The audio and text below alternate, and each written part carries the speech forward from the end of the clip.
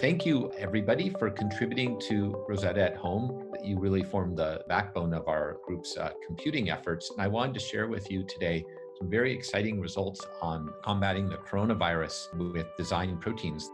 One of the things we've been doing on Rosetta at Home is to design sequences that fold up into new structures that are, that are shape complementary to the virus. And we've been designing millions of those, and that's why it's taking a lot of compute time. And then after we find ones that are shape complementary, we design their surfaces so that they can bind tightly to the virus. And we've made those proteins in the lab, and we found ones that bind very, very tightly to the virus protein.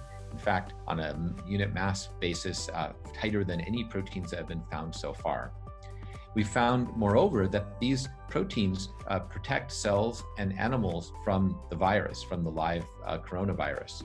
And so we're very excited about this now as a potential therapeutic, and we're trying to figure out how we could how we can move it forward to actually get it out in the world. And none of this could really be done without your your contributions. Um, so I wanted to thank you uh, for that. And um, if you're interested in learning more about uh, part of this work, uh, we published a paper in Science last week that you can get at our website. And uh, there's also been a fair amount of stuff in the media about this. But anyway, I wanted to thank you very much for your contributions. And we're, as we're moving forward to making um, higher affinity, still better uh, binders, we're relying very heavily on Rosetta at home. So I hope you will stay involved.